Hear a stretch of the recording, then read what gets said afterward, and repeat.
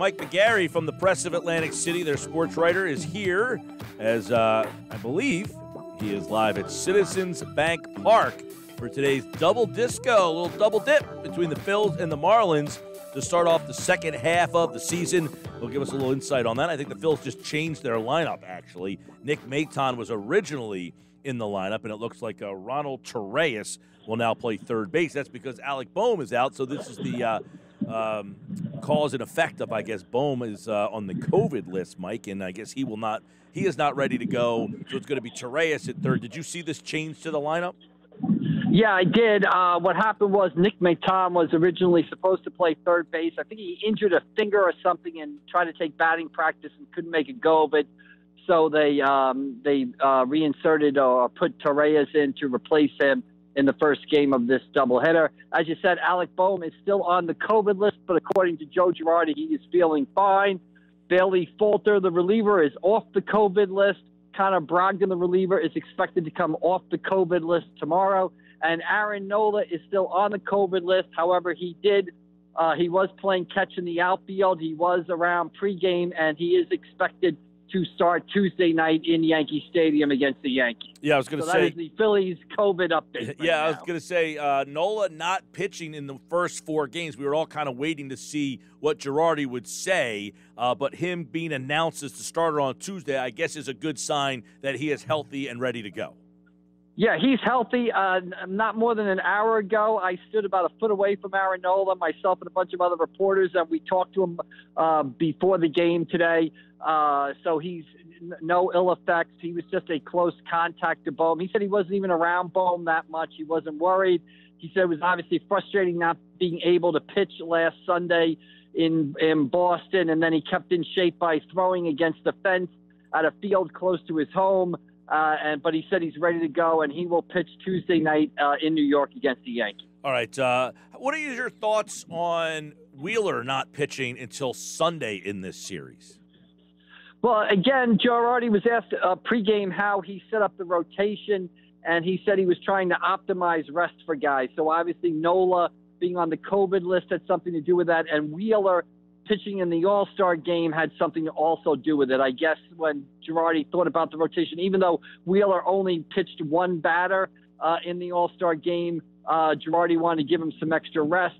Uh, Girardi did say that he was not unhappy that uh, he was happy that Gir- that Wheeler got to pitch in the All Star game because he earned the right to be there. He, however, was not unhappy that Wheeler, who has thrown 114 innings, is on pace for a career high 228 innings, only pitched uh, to one batter in the All Star game. So maximizing Wheeler, giving him enough time to rest, was the theory on pitching him on Sunday. Okay, yeah, he threw three pitches in that game the other night, and you were Right. you're wondering though, uh, Mike, this is a doubleheader today. It's only a seven inning game. You could potentially have gotten a seven inning type of game from Wheeler and not have to use your bullpen. Like, was that under consideration or was that not brought up?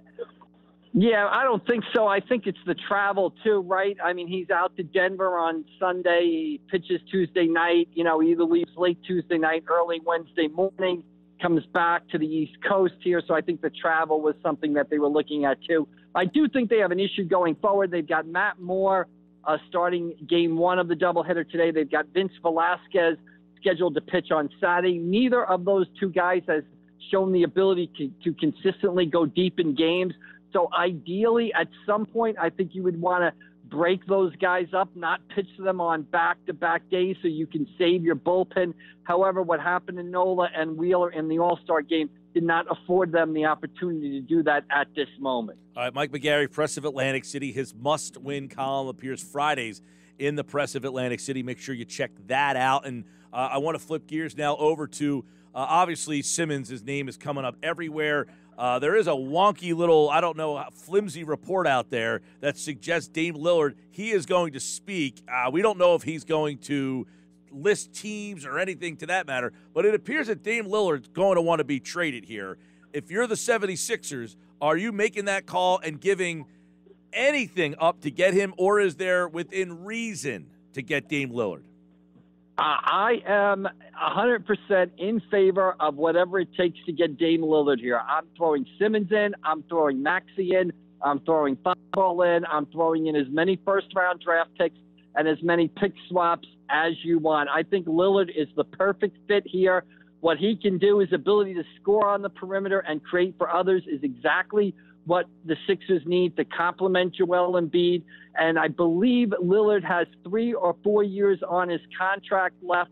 You bring him here, and you basically, uh, with a 27, 28 year old Joel Embiid, you're basically setting up, you know, a three year window for you to go take a serious run at an NBA title. So I, if I'm the Sixers, I'm doing whatever it takes to get uh, Dame Lillard here, and I'm not making the same mistake I've made, or maybe I've made in the past, where I didn't want to give up a Danny Green to get a Kyle Lowry, and I didn't want to part with Maxey or Thybulle to get a James Harden. I'm getting a superstar, and to me, Lillard is the guy who fits them perfectly. So I'm doing whatever it takes. By the way, Lillard, forty-three point seven million next year, forty-seven million the following year, and fifty million in his final year of the deal. So he would be the highest paid player on the Sixers team. Obviously, $50 million he is making in one season coming up in 22 and 23. Let me ask you this question about Lillard. I think he's fantastic. I agree with what you're saying. Him and Embiid would be awesome. But is there any concern that we're going gaga about a guy who has not been able to essentially get out of the first round of the playoffs multiple – eliminated five times in eight years. Do we look at him and say, what a great player, but why do his teams come up short? Well, I think on the flip side of that, he has made some deep runs on occasion. I think like two years ago, they went, they to, the went East, to they NBA, went to the finals.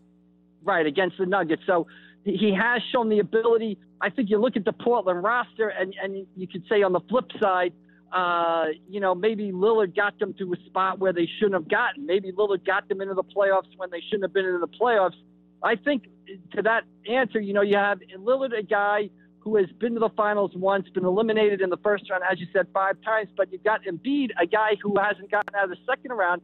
Maybe you put them together. Hey, that's what they need together. We talk about Embiid, uh, you know, being complemented by Lillard because he's never had a player like Lillard. Well, has Lillard ever had a player like Embiid to get him going? So I think they're perfect for each other. They can both help each other, and I think they're exactly what they need uh, for the Sixers to make it to make a run. And plus, I think it, it, you get Lillard, you make Joel Embiid happy. This is this is the elephant in the room, right? In today's NBA world, NBA stars, Lillard's doing it now. Uh, he's got four years left on his contract, yet it looks like he's going to force his way out of Portland. Mm-hmm. Who's to say Embiid doesn't decide in a couple of years, boy, this Sixers situation isn't working out. I want out. You go to Joel Embiid this offseason and say, we're serious about winning a title. The player we brought in to help you win a title is Dame Lillard. I think everybody's happy. Fair. Uh, a lot of what you said, I agree with. Uh, obviously, there's some things here. You're playing Dame Lillard, six foot two, in the backcourt with Seth Curry. Uh, both not very good defensive players. Uh, uh, you know, you would probably have to give up Ben Simmons and maybe Matisse Thybulle. Defensively, no worries there? I don't have any worries there. Because to me, you get the two guys, right? And the NBA has shown this, right? You get your two stars, you get your Embiid, and you get your Lillard, and then you get guys to, to fit around them. Who's to say you're not going to get a 3 and D guy who wants to come here because he sees this as an opportunity to win a title? Who says, you know, you can get a bigger guard, a defensive guard to come here and maybe shift Curry back to the bench? All other questions can kind of be worked out. The NBA has shown that. If you get superstars, players, role players will come to play with those guys, but you need the superstars first. So eh, all those other side issues like you bring up there, to me they can be worked out and they will be worked out. But what you don't have, what you do need first is the superstars. Get the superstars and everything else will fall into line. All right, Mike McGarry from the Press of Atlantic City. I don't know that you read uh, or heard this comment the other day, but uh, Israel Gutierrez was on the Greg Cote podcast recently and said, "quote." People don't like Ben Simmons in this league. He actually prefaced it by saying, I'm not breaking news here, but people don't like Ben Simmons in the league. His teammates don't like Ben. There's just something about him. He's an unlikable dude. And in the locker room, he's unlikable. You've been around the team a lot. Do you get that vibe that Ben Simmons is an unlikable guy? Yeah, I, I don't know about that from a perspective of, you know, we are around the team a lot, but our access is limited, especially with COVID the past year and a half. It's been very limited. I, I see where Ben Simmons, to me personally, don't know him at all, but he seems to have a little bit of a, you know, he's he's a, a cool customer, right? He's a he's got a cool personality.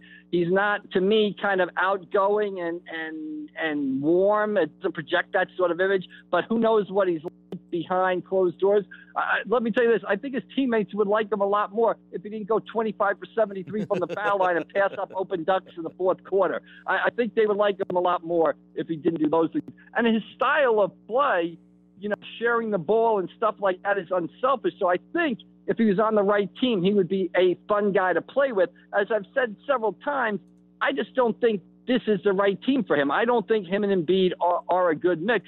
And maybe there's a situation where, you know, there's an Embiid camp and a Simmons camp. Who knows? I don't, for whatever reason, it hasn't worked in Philadelphia. That doesn't mean it can't work somewhere else for Ben Simmons. All right. I want to ask you, Mike, you are obviously covering the Phillies a lot. There are you know, some people out there, Adam Schefter said the other day that Philadelphia is the most equipped team to go get a guy like Deshaun Watson. What has the reaction been to Odubel Herrera? Like, has it been like was it a day? Was it an at bat? Has it been a month? I, I can't get a vibe of how the fans have reacted to him because there was a lot of people who did not want to see him. But have they got a lot of backlash from playing Herrera essentially every day? they haven't gotten any backlash really from what I've seen from playing Herrera every day. I think his first at bat, there was a smattering of boos when he came up. Since then, it's kind of been business as as normal, basically, for Odubel Herrera.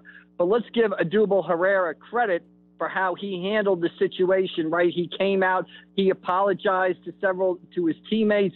He held that press conference with the media where he apologized to the media when they called him up, he talked to the media again. He's expressed nothing but remorse for his, his actions. He seems to have gained the trust and, and uh, faith of his teammates who have given him a second chance. And so far, he's kind of, to the best of our knowledge, he, he's done what he's had to do and stayed on the right path. So the, the when he first got played, there was a smattering of uh, boos when he came up. Since then, it's been business as usual.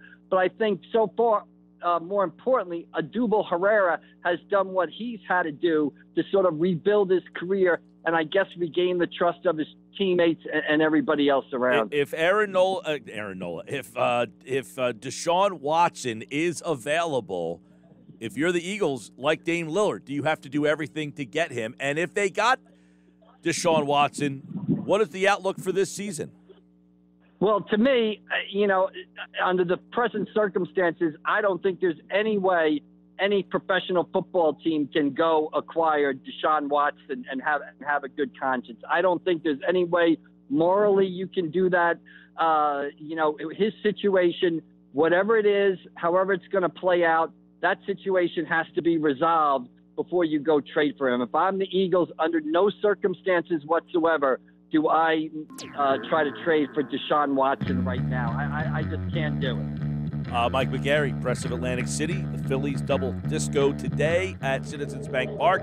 He'll have more on that in the Press of Atlantic City. Follow him at AC Press McGarry. And enjoy your weekend, Michael. All right, Mike. See you down the road.